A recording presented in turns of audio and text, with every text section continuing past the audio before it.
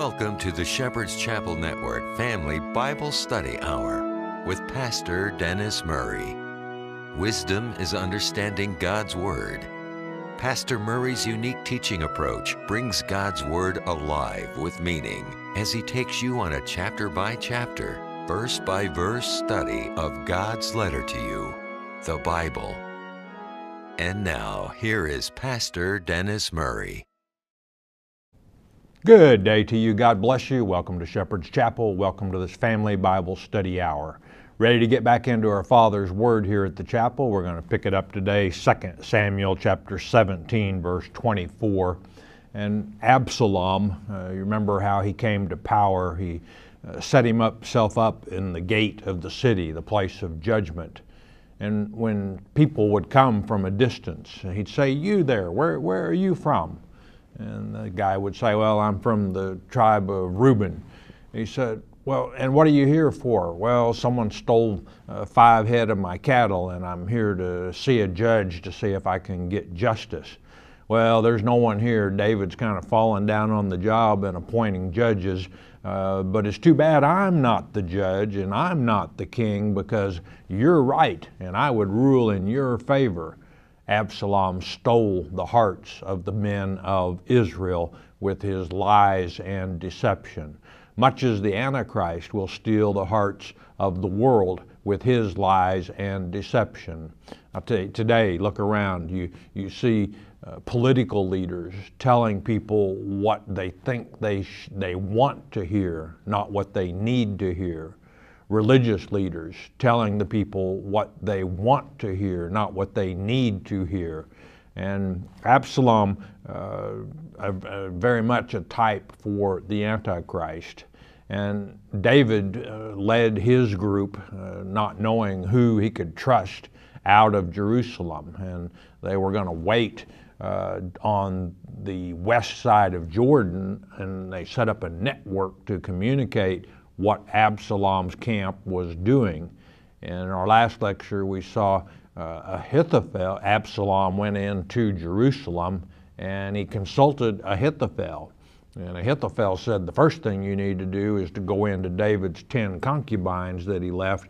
Uh, that would definitely establish you as the king. It also would make it impossible for David and Absalom to reconcile their difference. That would be out of the question after uh, Absalom did that.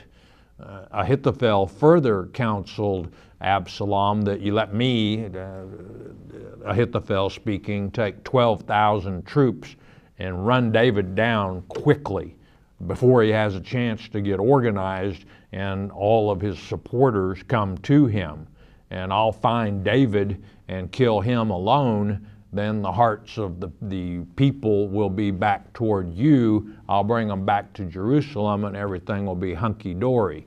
Well, Hushai, uh, they consulted his counsel and he said, You know, the uh, counsel of Ahithophel is not good at this time.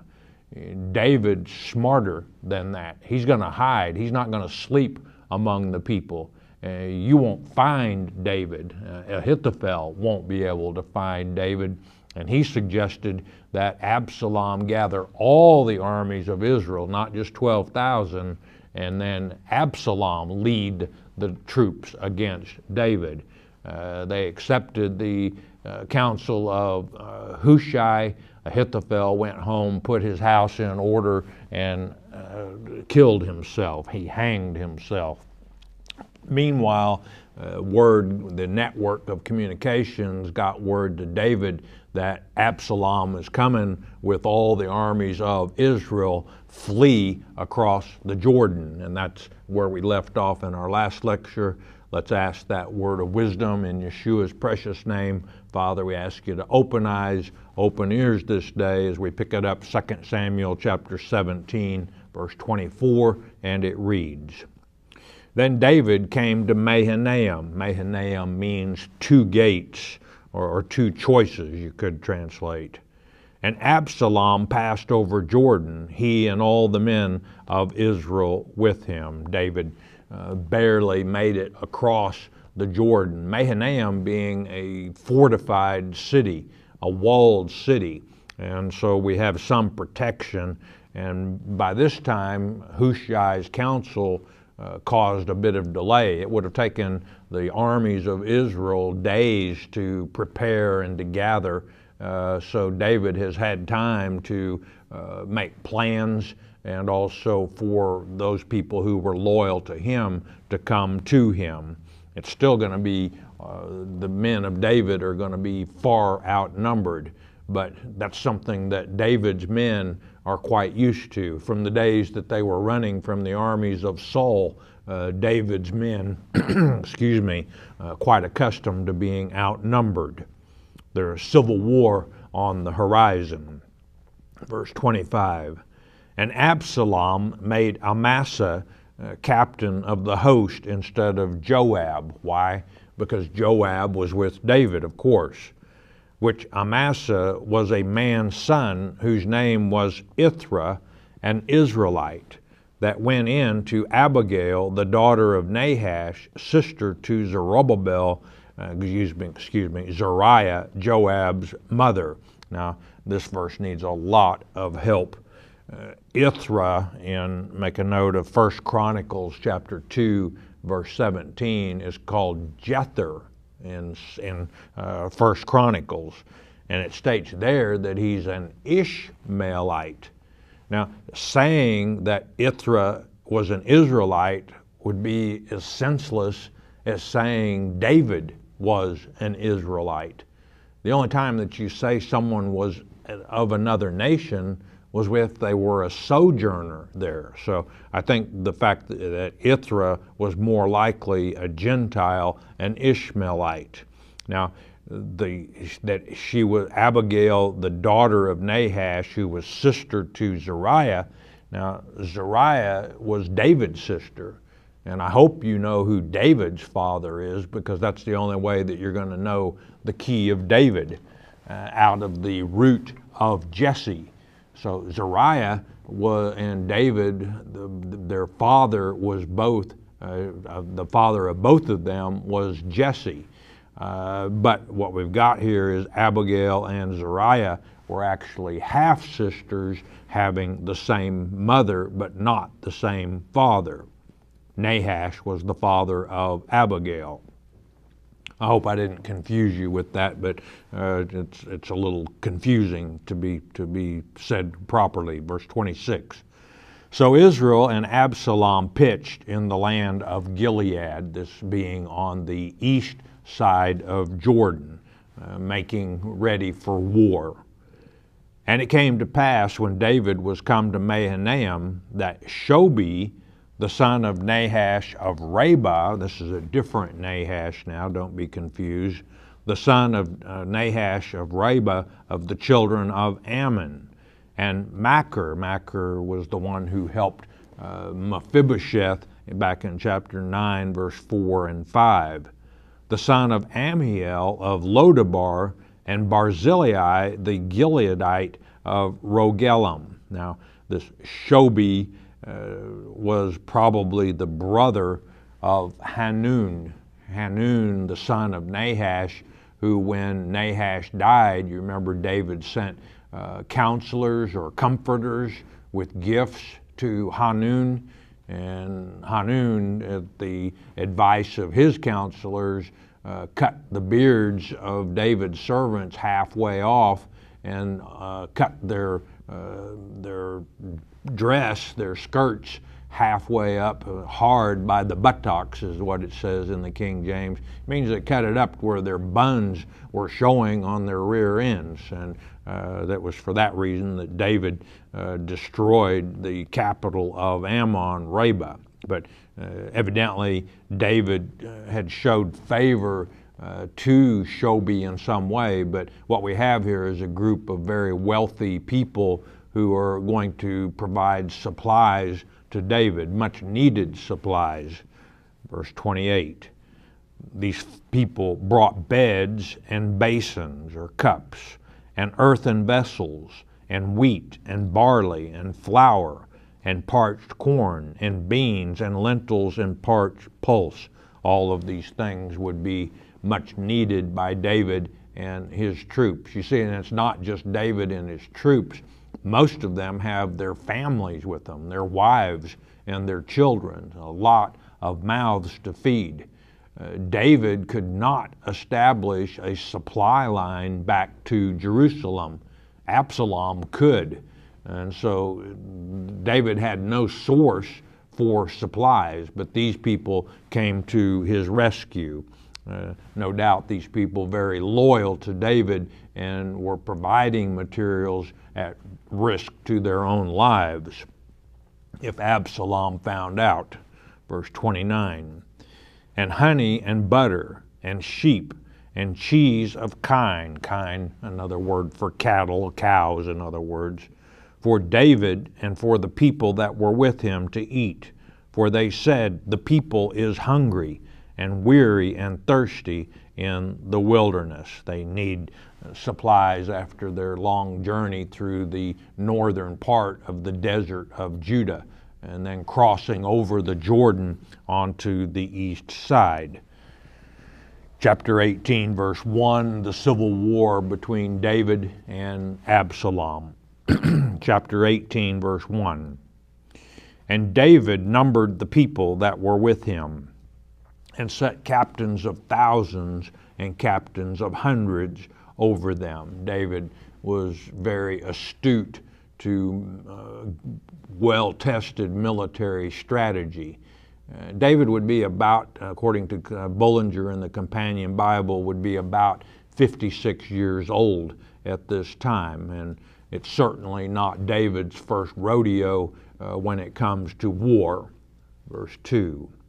And David sent forth a third part of the people under the hand of Joab, under the command of Joab, his nephew, and a third part under the hand of Abishai, the son of Zeruiah, also David's nephew, Joab's brother, and a third part under the hand of Ittai the Gittite. And the king said unto the people, I will surely go forth with you myself also.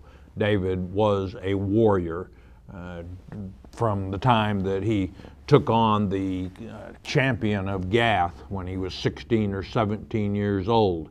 He proved himself in, in, in battle and was quite a warrior.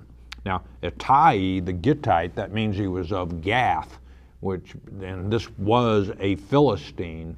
And you may recall when David was first coming out of Jerusalem that Ittai and his little ones, his children, his family, uh, came in and were following David. And David told Ittai, you know, there's really no sense in you getting involved in this. You could just remain in, in Jerusalem and serve whoever the king is. I, I don't know where I'm going. Uh, I don't know where this is all going to end. And Ittai said, you know, if you, if you live, I'll live with you. If you die, I'll die with you. Uh, that's quite a statement from Ittai, and David rewarding uh, Ittai with his confidence in leading one third of the troops that David had at his disposal. But David saying, I'm going with you. Verse 3 But the people answered, Thou shalt not go forth. For if we flee away, they will not care for us. They, they won't care if we run as long as you are still alive. Neither if half of us die will they care for us. It won't matter if David is still alive. But now thou art worth ten thousand of us. Therefore now it is better that thou succor us out of the city. And many scholars wrestle with the latter part of this verse. To succor means to help. And some people, scholars, believe that they wanted him to stay in Mahanaim and to pray for them. Uh, some thought that uh, the scholars think that this means that he was going to keep some of the troops with him in case Ittai, uh, Joab, or Abishai were put to the worst, and then they could serve as reinforcements to uh, their others verse 4. And the king said unto them, what seemeth you best I will do. Okay, I'll remain in Mahanaim and try and help you from there. And the king stood by the gate side, and all the people came out by hundreds and by thousands, the military troops uh, going off to war, rallying to David's cause and, and defending his right to the throne.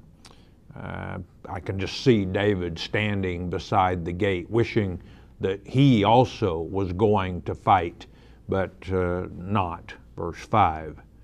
And the king commanded Joab and Abishai and Ittai, the three commanders of all his troops, saying, Deal gently for my sake with the young man, even with Absalom.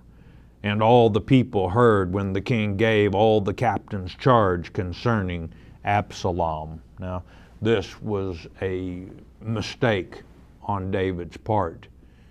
He's literally tying the hands of his military, and we're going to see that that uh, this becomes a problem uh, in that David is saying Absalom's the enemy.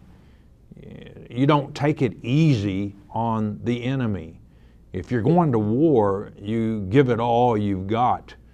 You don't take on rules of engagement that endanger the lives of your people and spare the lives of the enemy. And that's exactly what David did. He, he put shackles on the hands of his military, deal gently with Absalom, the enemy. Remember, Absalom is a type for the Antichrist as well. And I'll tell you this, beloved, you better be prepared to do anything but deal gently with the Antichrist. He doesn't play games, he never takes a vacation. Uh, it's a serious spiritual war. Uh, don't take on rules of engagement that help the enemy and harm your cause, in, in our case, God's cause. Verse 6. So the people, these are David's army, went out into the field against Israel, against Absalom's gathered army. And the battle was in the wood of Ephraim. This Psalm 55, make a note of it. Uh, it's called uh, Dove in the Distant Woods, or Oaks, is actually the way it's stated in the subscription. Uh, this is going to be the same noise that David heard above the mulberry trees back in chapter 5 when he was warring with the Philistines. He inquired of Abiathar the priest through the Urim and Thummim, and God said, Yes, go up against the Philistines. I'll deliver you. And God did. Uh, a short period of time later, the Philistines regrouped David asked, Do I go up against them again through the Urim and Thummim of Abiathar? God said, No, don't go up. You wait until you hear the noise, the sound in, in the mulberry, above the mulberry trees, and then you encompass or circle around and attack from then.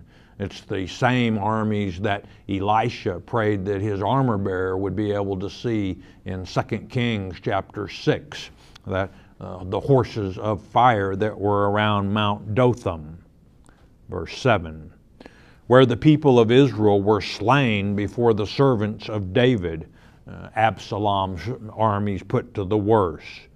And there was there a great slaughter that day of 20,000 men how did this happen? God is in control. For the battle was there scattered over the face of all the country, and the wood devoured more people that day than the sword devoured. Some scholars say that this was a very uh, swampy, jungle like area, and that the armies of Absalom were swallowed up in quicksand uh, that's not what happened at all. You know what happened. It was the same thing that the, that the uh, dove on the distant oaks in Psalm 55. Uh, back in chapter 5, we had the sound above the mulberry trees. It was the armies of God taking care of business. God had anointed David king of Israel, not Absalom. Verse 9 And Absalom met the servants of David, and Absalom rode upon a mule, and the mule went under the thick boughs or branches of a great oak, and his head caught hold of the oak, and he was taken up between the heaven and the earth, and the mule that was under him went away. He suspended himself uh, in midair, basically. Remember back in chapter 14, verse 26, where we saw that description of Absalom, that he was a good looking rascal. But what was it about his hair? Well, he cut or pulled his hair but once a year. And when he cut it, it was almost four pounds of hair. Uh, I guess he should have got a haircut before he went to this battle because uh, right now he's in a difficult situation. Verse 10 And a certain man saw it, one of David's men saw it, and told Joab and said, Behold, I saw Absalom hanged in an oak. Absalom's probably wishing about this time that he had followed the counsel of Ahithophel and allowed Ahithophel to take 12,000 troops and go after David while he remained in Jerusalem. Can you imagine how helpless Absalom felt uh, hanging by his hair, hair in midair? Verse 11 And Joab said unto the man that told him, And behold, thou sawest him, and why didst not thou smite him there to the ground? Why didn't you kill him? And I would have given thee ten shekels of silver and a girdle. It was a common for a commander to give presents to his military people who killed uh, key members of the enemy. And, and whose fault is this that this did, the man did not kill Absalom? It's David's fault. David made a very stupid decision in commanding the troops to take it easy on Absalom, to go lightly on the enemy. Verse 12 And the man said unto Joab, Though I should receive a thousand shekels of silver in mine hand, if you had given me a hundred more shekels than what you said, a hundredfold more shekels, yet would I not put forth mine hand against the king's son. For in our hearing the king charged thee and Abishai and Ittai, saying, Beware that none touch the young man Absalom. He put the troops of David in a very difficult situation. Be gentle on the enemy. It's ridiculous that David shackled his men this way. Verse 13 Otherwise, I should have wrought falsehood against mine own life. The man continues, Had I killed the king's son, the king would have heard about it, and then my life would be in jeopardy, is what this means. For there is no matter hid from the king, there are no secrets from King David. And thou thyself wouldst have set thyself against me. If David had commanded you to come over and put me down, you would have been right there following uh, David's instruction. Verse 14. Then said Joab, I may not tarry thus with thee. Uh, in other words, enough. This is enough. Leave this alone. I don't have time for this. And he, this being uh, Joab, took three darts in his hand and thrust them through the heart of Absalom while he was yet alive in the midst of the oak. Now, these darts, uh, subject of uh, confusion, there is a weapon known as a dart, but it did not come in existence until after the time of the captivity, uh, the captivity to the Babylonians. This is hundreds of years before that. Um, I think that what Joab did, he took uh, his rod and, and ran uh, Absalom through three times with it. Uh, he didn't. Joab was a warrior. Joab knew how to kill, uh, and he didn't kill, as we'll see in the next verse, verse 15. And ten young men that bare Joab's armor, his weapons, compassed about and smote Absalom and slew him. They finished Absalom off. Uh, so much for David's instructions to be gentle uh, on Absalom. Verse 16 And Joab blew the trumpet, and the people returned from pursuing after Israel, after Absalom's army. For Joab held back the people. He blew the trumpet, the sound to stop fighting, to cease, uh, that enough is enough. You know, God does not like civil war where you have bone of bone, flesh of flesh killing each other. And Joab, I think, was probably sickened uh, by this as well. And he's, he's saying, okay, that's enough. The rebellion is over. Uh, the false king Absalom is dead. Verse 17. And they took Absalom and cast him into a great pit in the wood, a type for the abyss that Satan will go into, and laid a very great heap of stones upon him. And all Israel fled, every one to his tent.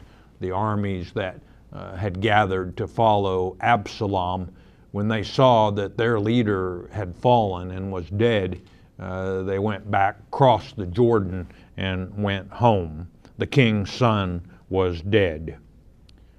Now Absalom in his lifetime had taken and reared up for himself a pillar which is in the king's dale. This is on a valley on the east side of Jordan. Most of you know it as uh, Kidron Valley, where the brook Kidron runs through.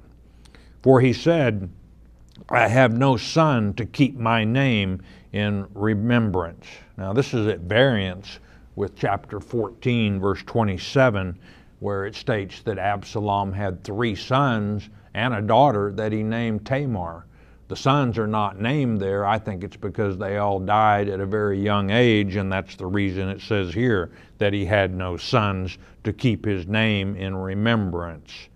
And he called the pillar after his name, Absalom's pillar.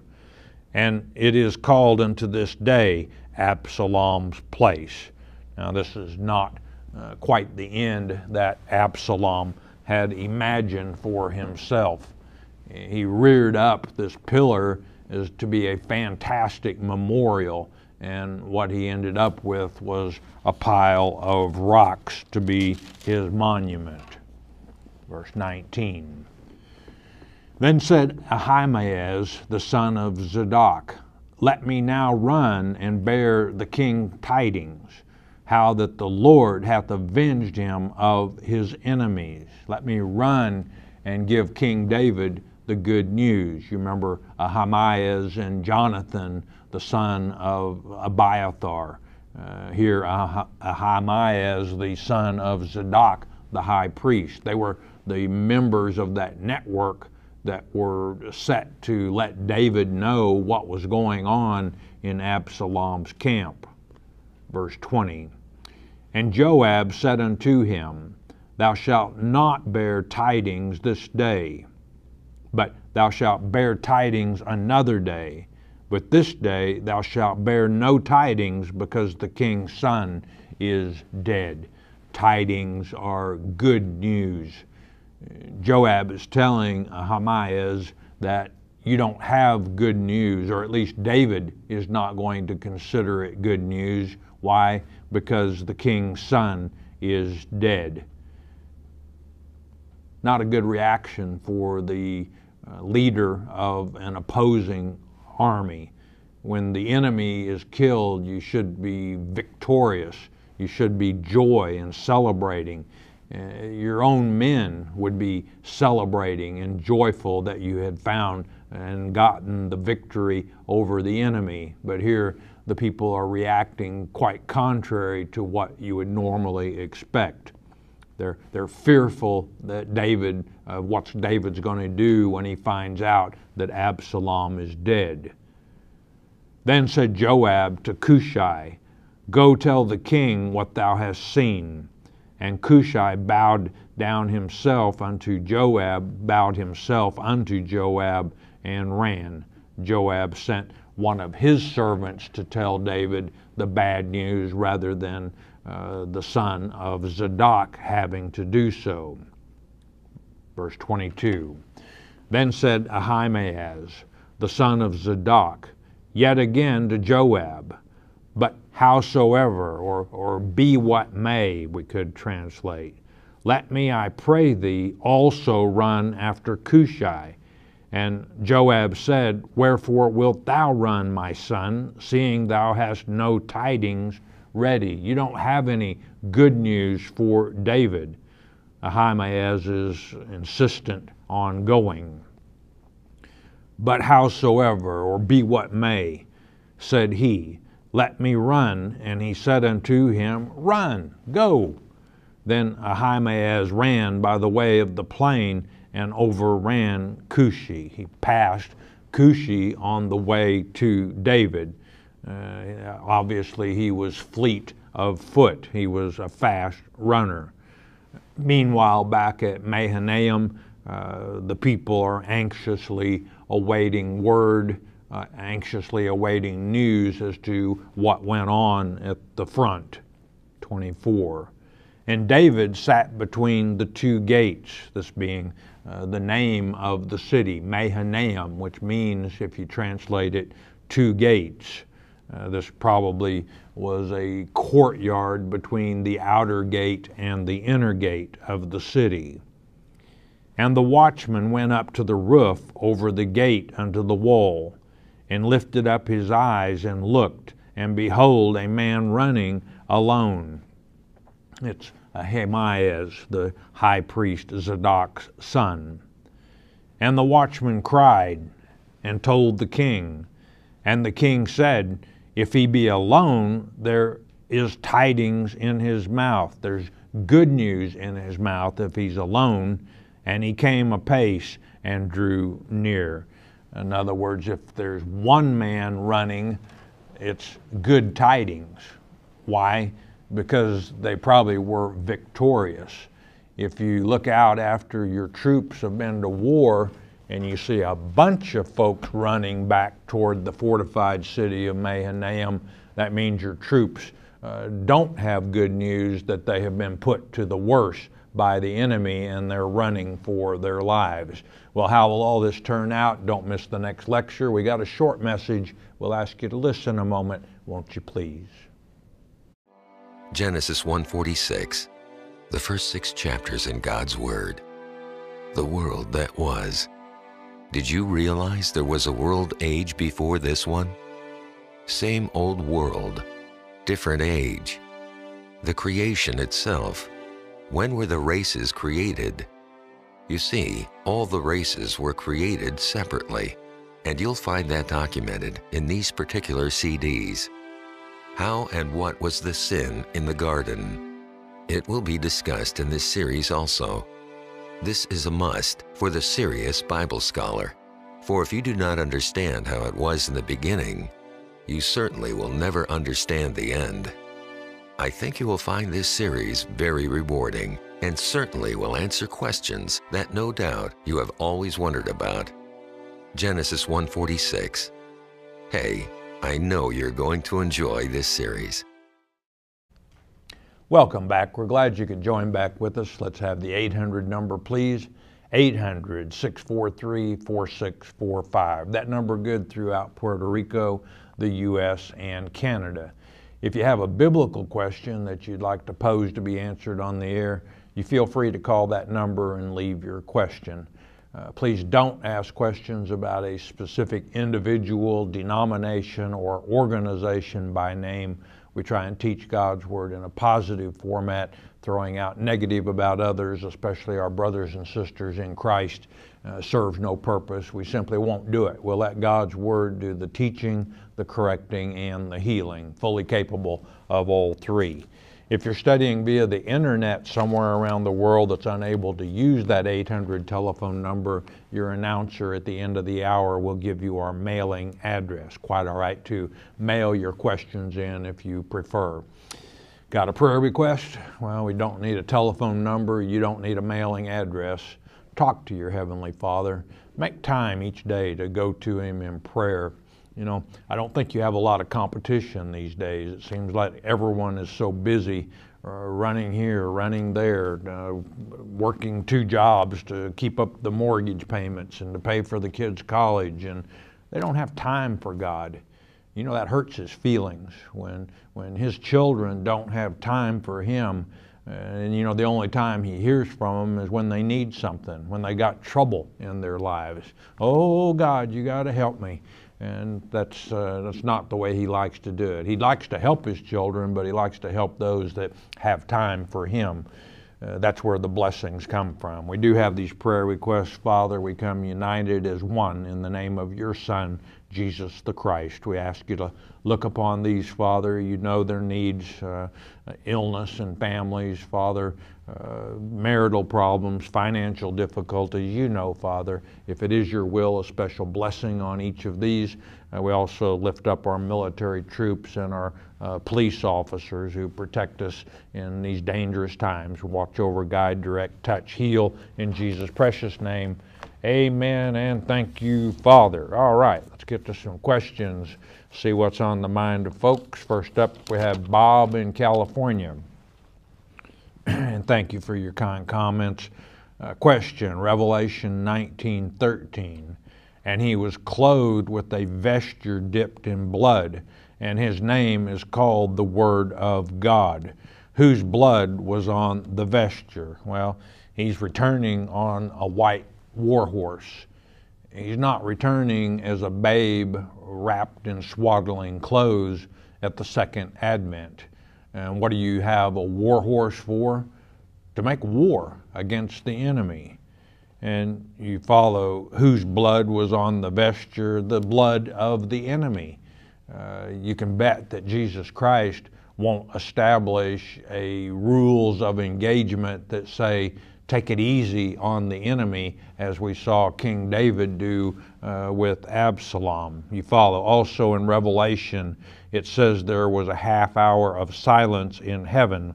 Please explain. Well, Revelation chapter 8, verse 1 states that there was silence in heaven for half an hour.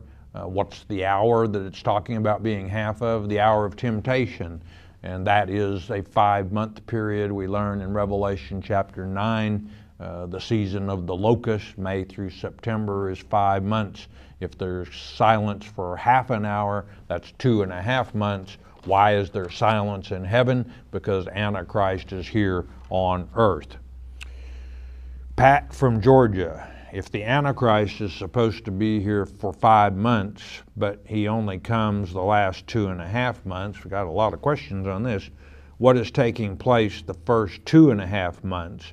What should we look for so we'll know uh, the start of the five months? Well, that's the one world political system, the first beast of Revelation chapter 13. And what happens? Well, that political system receives a deadly wound. And don't ask me to document that, but as things progress, I think that that's going to be a financial deadly wound. And then that's when Pretty Boy Floyd, Antichrist, shows up on the scene, uh, heals the deadly wound of the one world political system.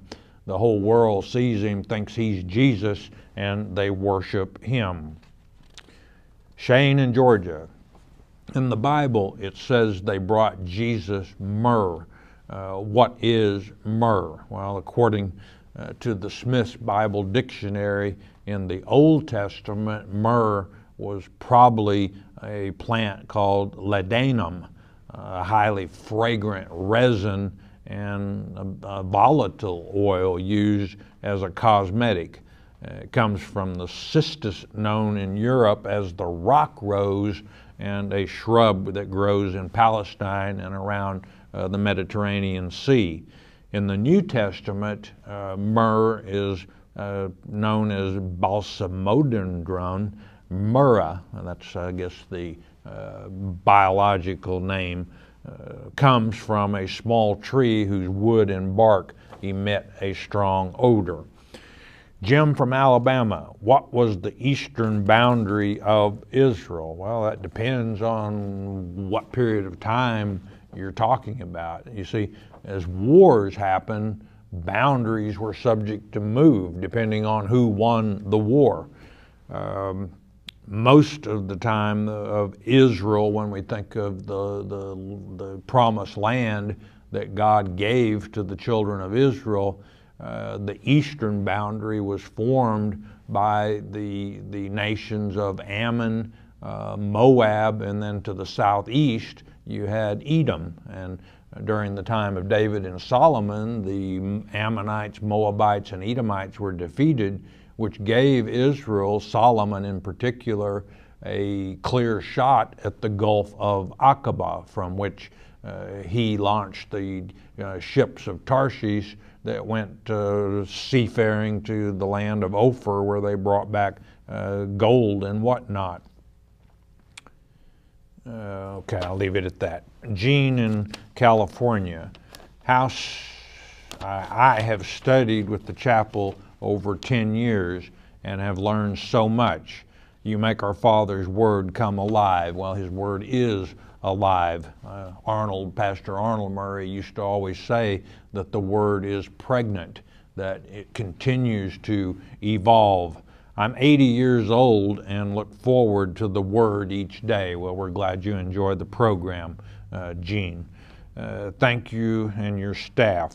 Once we die and go to the Father in paradise, in paradise, do our work stop? No, I, I, I know God does not like lazy people, and everyone is going to have work uh, to accomplish. Um, explain the word transfiguration. Well, that is explained in Matthew uh, chapter 17 when Jesus uh, went up to the Mount of Transfiguration with three of his disciples and who appeared there with Jesus in transfigured bodies uh, Moses and Elijah. So a transfigured body, uh, but beware too that uh, Satan uh, can transfigure himself uh, into an angel of light, the teachings of Paul. And his angels can transfigure themselves into angels of light. So be wary. Tammy in Washington. What does God's Word say about women who can't have children? Well, uh, spiritually speaking, nothing but good is said about women who can't have children. Uh, Luke chapter 23, verse 29 Blessed are the barren and the wombs that never bear, and the paps which never gave suck. And what does all that mean? Well, a lot of churches have a hard time deciphering that particular verse. What it's talking about is blessed are those who aren't spiritually in bed with the Antichrist when Christ returns. What would it mean if Jesus returned after 2,000 years expecting a virgin bride, and what he found was a woman who was giving uh, suck uh, through her paps. She's been with somebody else, is what it means. And spiritually, again, she's been in bed with the Antichrist. Wasn't fit to be the virgin bride of Christ. Robin in Minnesota. My sister committed suicide. My pastor said she won't go to heaven. Can you share any scripture that may address suicide I believe she was troubled and wasn't in her right mind. I would ask your pastor uh, who appointed him to be the judge of who goes to heaven and who does not. Uh, there's only one judge, even God. And Father knows the hearts and minds of men and women. And he knows when someone is troubled, as you stated, and when someone is not in their right mind. There are circumstances.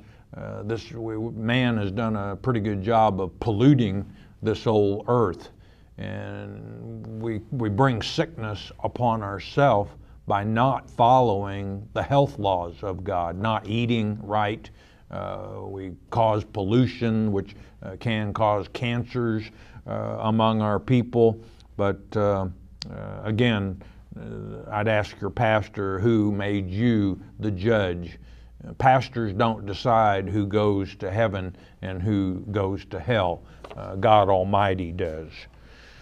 John in Vermont please explain the difference between a King James 1611 and the King James 16 uh, King James Version Bible we have today.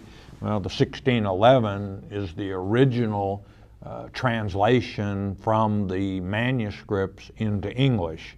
It was commissioned by King James of England, uh, therefore the name of the Bible, the King James Version Bible. Now, the 1611 was written in Old English.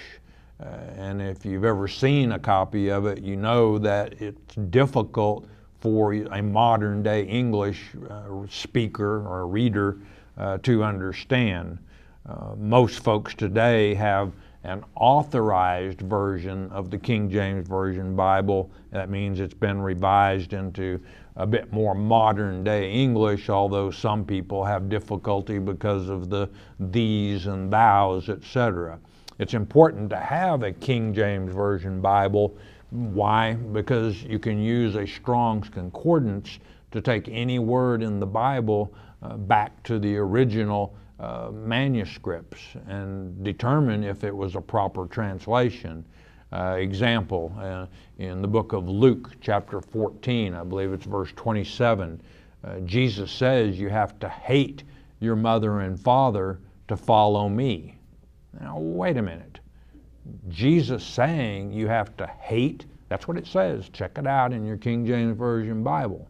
It's a bad translation, and that's why you need to know how to use a Strong's Concordance. If you take that word hate and look it up, you'll find that it also means to love less, which is how that uh, is translated in another uh, gospel, another book of the Gospels, that you have to love your, your mother and father less than me if you're going to follow me. But Moses taught us that you honor your mother and father, not hate your mother and father. So when something comes up that like that and you know something's wrong, you can take your Strong's Concordance and look it up and find out how it should have been translated. Mark in New York, please explain the difference in the end days between God's laws and man's law. I'm not sure what you mean by that. Uh, uh, we are to do our best to obey God's law and we're also to do our best to obey civil law. Matthew chapter 22, verse 21, the teachings of Jesus. He said, you know, whose inscription is on that coin? And they said, well, it's Caesar's. And he said, well, then render unto Caesar that which is Caesar, which means pay your taxes, obey civil law. Brody in Louisiana. Is it possible, since Eve tried to give Adam the fruit and he didn't take it, that both Cain and Abel were Satan's sons? That Abel made good choice to please God and Cain didn't and followed Satan. Is that possible? No, that's not possible, and that's not what happened. I don't know how you can read chapter 3 of Genesis and come up with the idea that Adam refused to take of the fruit that Eve offered him. Genesis chapter 3, verse 6. Uh, it states there that um, uh, Eve gave the fruit to her husband and he did eat. Uh, Cain and Abel were twins. Uh, Eve had already uh, had intercourse with the serpent and she conceived. Genesis chapter 3, verse 16. God said, I will greatly multiply thy conception then Adam knew his wife. Uh, she had a son named uh, Abel, which was Adam's son, but they were twins by different fathers. Who do we have here? James in South Carolina.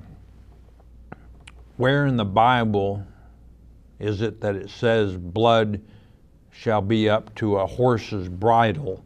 And who will do this? And who are they? I've been looking and listening to Shepherd's Chapel teaching on cable here for some years now, and I love the teaching. Uh, I listening to you. Oh, and you give the time that you listen. Okay, and you're thinking uh, James of Revelation chapter 14, verse 20. And what's going on there is Jesus has returned, and you have to know that everyone is in spiritual bodies at that time. But the blood up to the horses' bridles uh, is the cup of God's wrath that'll be poured out on the enemies of God. Uh, and those that are deserving will drink it to the full measure. Kathleen in Michigan. Heaven and earth shall pass away, but my words shall last forever. Please give scripture on this, and does this mean that the third heaven age shall pass someday also? No, it won't ever pass away. The scripture you're referring to is Mark uh, chapter 13, verse 31. But the first earth and heaven age passed away. The second earth and heaven age will pass away but the third earth and heaven age will never pass away. Why? Because that is the eternity, well, never ending, the kingdom of God. You can read about it in Revelation chapter 21 and Revelation 22. Gene from Georgia. My pastor is a policeman in order to take care of his family and pay bills. He says that God called him to pastor my problem is that he wears a gun in church, even while he's preaching. I love the way he prays the Lord. Back in Jesus' day, you say that they had swords to protect themselves. My question is Is it all right for him to have such a career and be a pastor of a church also? Would love to hear an answer from you. I think um, many police officers would make good pastors. Uh, they're, they're disciplined uh, people for the most part. Uh, they know the law, uh, civil law, very well. Um, you know, and I'll bet the victims of that church shooting down in South Carolina, where nine innocent Christians were gunned down by some idiot, I'll bet they wish one of them would have had a, a, a weapon so that they could have protected themselves. Cowards choose soft targets.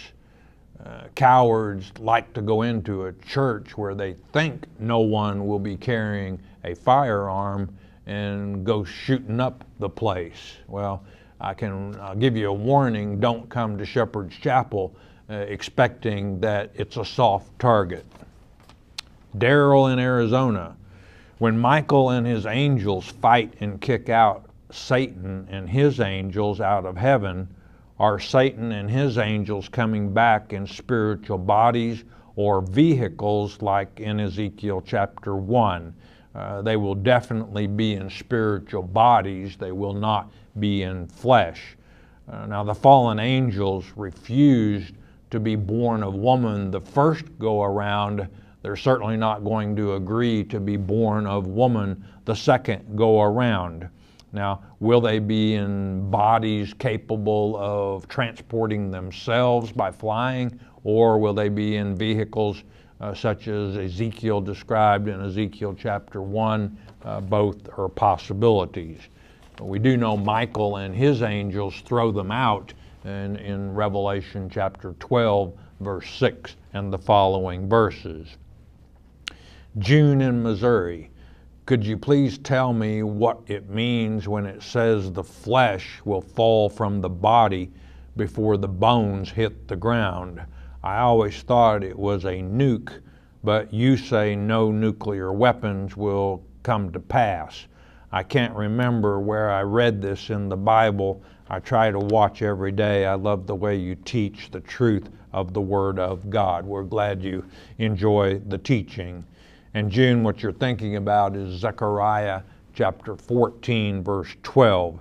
Uh, their flesh shall consume away while they stand upon their feet, and their eyes shall consume away in their holes, in their sockets in other words. Now, what this is describing is what happens to the flesh body when the seventh trump sounds. Uh, 1 Corinthians chapter 15, verse 52, and the following verses. In the twinkling of an eye, uh, the flesh takes on a spiritual body. When Jesus returns, there is no more human flesh. Mary, and I don't know where Mary's from. Uh, on kings did Jesus go back when he had arisen to talk with the kings uh, about salvation, or will they be will there be another chance in the millennium? Well, Jesus didn't just go back to the kings; he went back to all who had passed away before his crucifixion. You see, it wouldn't have been fair for God to judge those who lived under the law uh, with those who uh, were lived under the dispensation of grace. 1 Peter chapter 3, verses 18 and 19, Jesus went back and preach the good news, the gospel to the prisoners. I'm out of time. I want you to know that I love you a great deal. Why? Because you enjoy studying God's Word in depth. And it makes your Father's day when He looks down from heaven and He sees you reading the letter that He wrote to you. Uh, it makes his day, and when you make his day, he will make yours. We are brought to you by your tithes and offerings. If we've helped you, help us keep coming to you and to reach out to others who are lost in this world of darkness. One thing most important, beloved, and it's this you stay in His Word every day. Every day in your Father's Word is a good day, even when there's trouble in your life. Do you know why? It's because Jesus is the living Word. Hearing God's Word with understanding will change your life. We hope you have enjoyed studying God's Word here on the Shepherd's Chapel Family Bible Study Hour with Pastor Dennis Murray. If you would like to receive more information concerning Shepherd's Chapel, you may request our free introductory offer.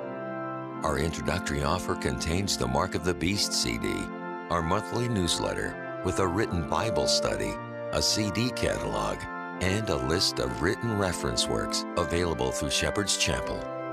To request our free introductory offer by telephone, call 800 643 4645 24 hours a day. You may also request our introductory offer by writing to Shepherd's Chapel, P.O. Box 416, Gravette, Arkansas 72736. Once again, that's Shepherd's Chapel, P.O. Box 416, Gravette, Arkansas 72736. We invite you to join us for the next in depth Bible study each weekday at the same time. Thank you for watching today's program, and God bless you.